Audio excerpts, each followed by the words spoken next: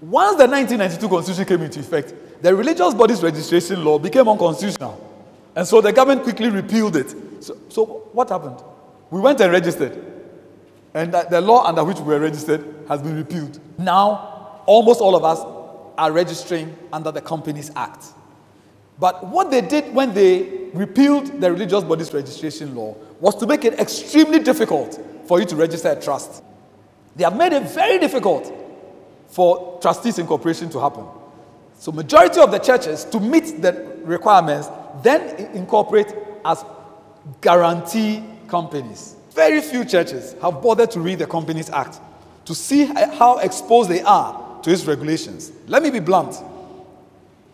All pastors whose churches are registered as guarantee companies and who are on the board of directors and who still earn a salary from the church are acting in breach of the law. I fear the day that an activist and well resourced companies registrar will be appointed who will decide to enforce the law and come after you. May the things I fear greatly never come upon you. Eh, go and do the right thing. No amount of amens will stop this. In other words, you are praying to God that the law should never be enforced.